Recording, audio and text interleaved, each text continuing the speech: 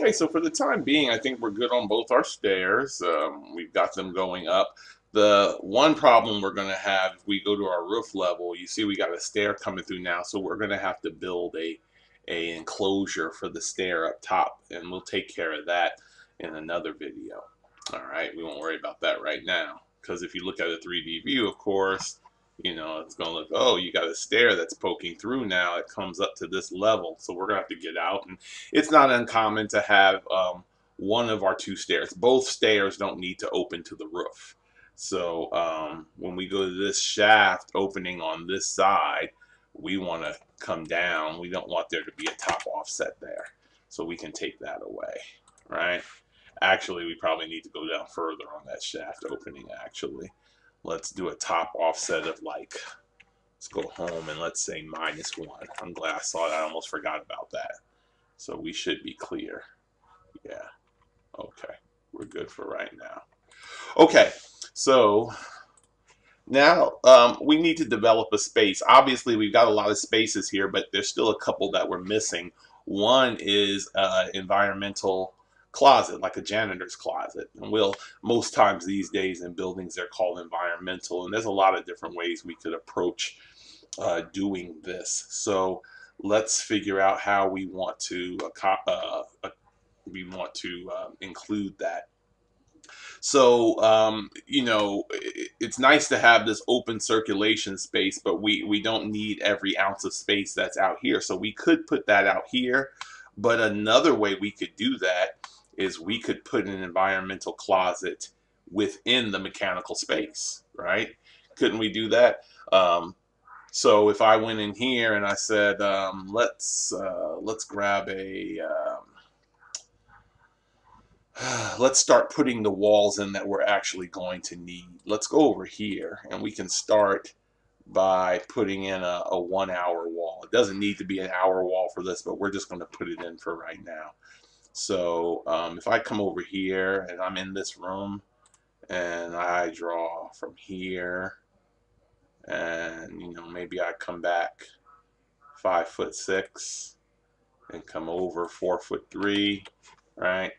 And then I go and I say insert load family and I go down to um, plumbing and I go to architectural and I go to fixtures, um, I can go to sinks and I can say, here's a, a little 2D mop sink, right? There's, um, and, and I need a little mop sink uh, in my closet, but I, I want to put a 3D item in there. So I'm going to go back and see if under the MEP one, under fixtures and under sinks, they might have a they either have a service sink or a mop sink. Yeah, a little corner mop sink like that. I like that better. All right, so once I put that in, I can go to component and place that component. All right, and I can put that, maybe I can uh, spin that around a little bit and drop that in that corner. All right, and then I can come in here and I can say, let's put a uh, actually, this door on this mechanical room, it should be bigger and it should be a different door anyway. Um, it should be a 36 inch door. right? so that door needs to be a little bigger. I didn't catch that earlier. right? and I can put it maybe two foot four off that wall. Okay, and then uh, in here I can put a smaller door. This kind of cuts my um, closet space down. So what I'm going to do is come in here and I'm going to, let's place a dimension on here. So we've got some good aligned dimensions for right now. That's five, six. I think I'm going to make that six foot six. And then I will align now.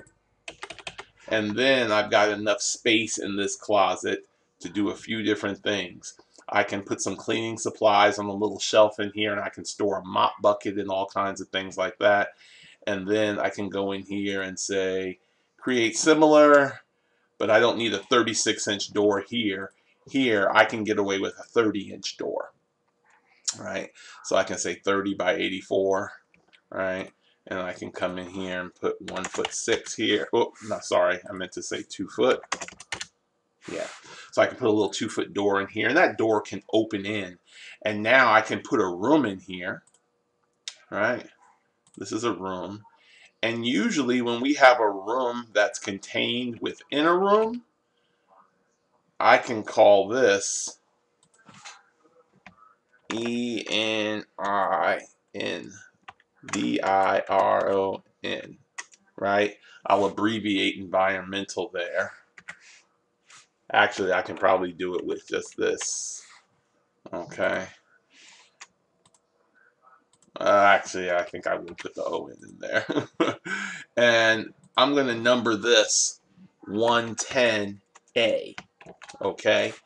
Usually when we put a room within a room, we don't go to another number. We'll use that number and we'll use an A. And so you'll see that happen uh, quite a bit. So um, other than that, we won't worry about this room. It's not like we need to show the shelving or any of the accessories that go in there. They just know, hey, there's a mop sink in there, and it's within this mechanical room. Now, it's taken down the mechanical room space some, but we're going to be okay on this space. I can tell you that from my personal experience. Usually anywhere from 175 in the building this size, 170 square feet and up. So we've got plenty of good space for what we need to do in here. All right. Uh, so we've got this environmental closet. And um, we uh, obviously want one of these on each floor. So if we go to, oh, sorry, we go to the second floor, we can see on the second floor we don't have the door in that closet. So all we have to do now is we click on the walls, this, and the door, and we'll even click on that door and we'll say copy. And what's great about Revit, paste align to the second, third, and fourth floors. And when we go to the second floor, and when we go to the third floor and the fourth floor, there are our mop sinks. There's our environmental closet within the mechanical space. So we're good to go there. All right. So we're covered on a lot of levels right now with a lot of the spaces. But um, there's still one or two little spaces left that we're going to actually need. And uh, I want to kind of stop the video for a minute and talk about a few of those.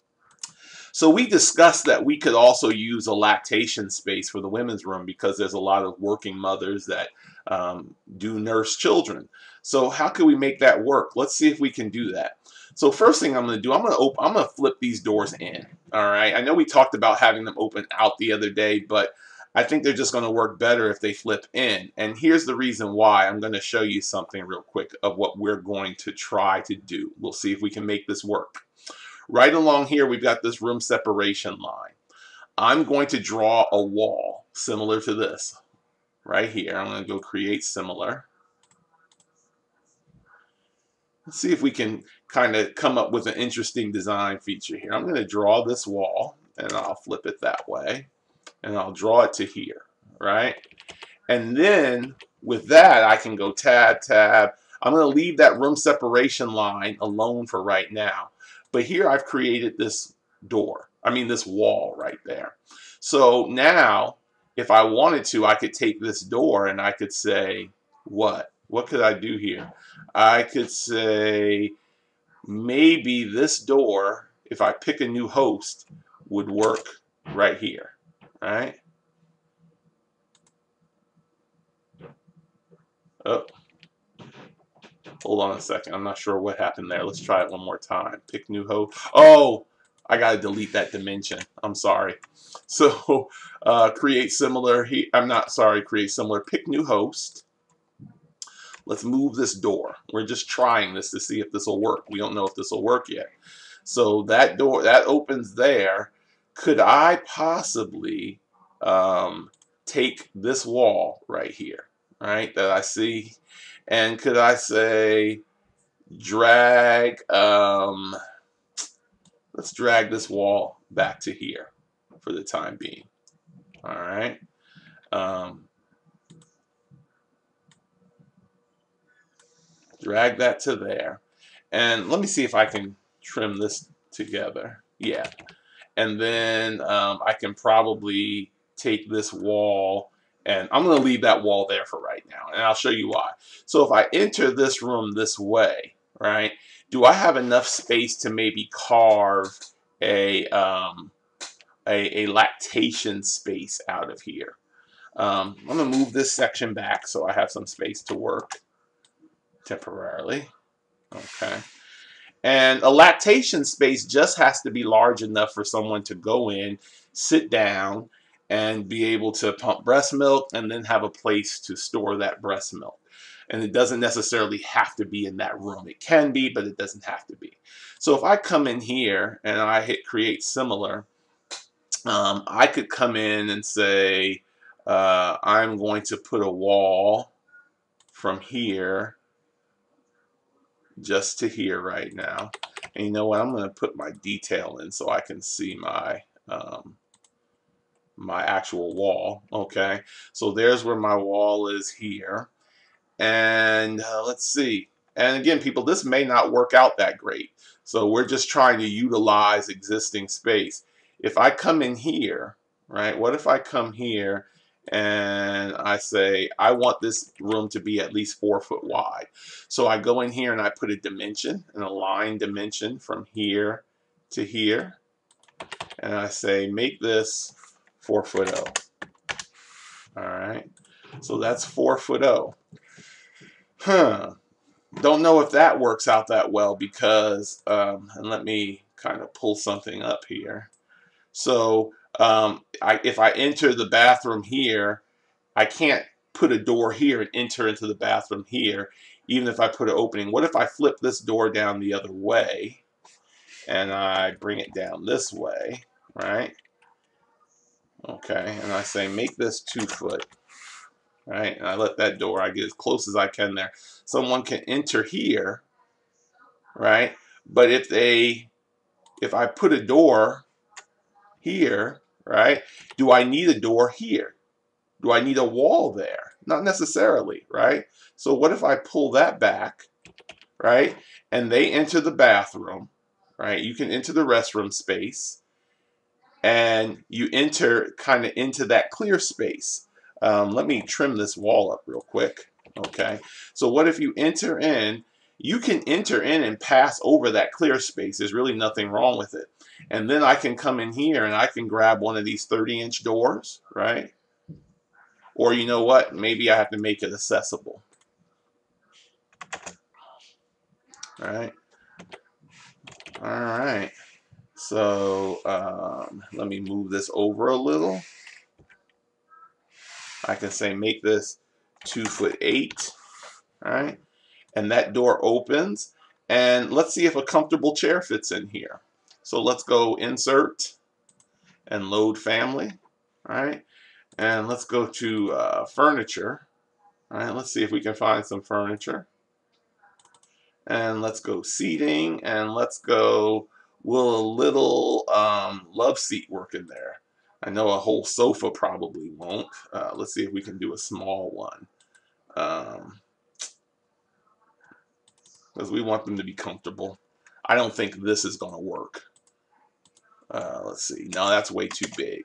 Um, we could probably find the love seat that works. But for right now, we know that what will work in here. We know that a chair will work in here. So let's insert load family and let's get a comfortable chair. We'll use a little Corbu chair. They're real comfortable. Yeah, that's good. So here Here's a little a little chair that fits in this room. It's almost like a little sofa. Someone could sit in here and they could easily come in and they could pump breast milk, right? And the only thing they would have to do is find a place to store it, which we can put someplace else because you probably wouldn't want to leave breast milk in a bathroom. But that's a whole nother story for another day, okay? So let's get a room in here now. Let's go in here and put a room. And we can label this what? We can label this lactation and we can call it 112A, right? Now, obviously, we don't have to provide this for the men's room for obvious reasons. So now we've got a little lactation room in there, and someone can go right in and they can sit in there, whether they were in a wheelchair or not. They could go and sit in here and they could pump uh, breast milk the way they needed to pump it. And we could get that working uh, well. So now we know hey, we can come in here where we had this um, this room separation line before, and I think it's right in here somewhere. So I'm going to go to filter and I'm going to say check none, check the room separation line, apply, okay. And now I can delete it because we don't need it anymore, right? So here's our elevator lobby. Here's the entrance to the women's room, right? Now, ideally, you like your entrance to the women's room to the door maybe to swing the other way, but we needed to swing this way in this instance. The only problem is you open the door and you can kind of sort of see in here. It's not ideal, but um, you know, there's a couple other solutions we could make for this, but um, we'll discuss them in the next video. Okay, so go ahead and um, uh, try and pick up some of these changes, and we'll pick up in about another 10 to 15 minutes. Okay.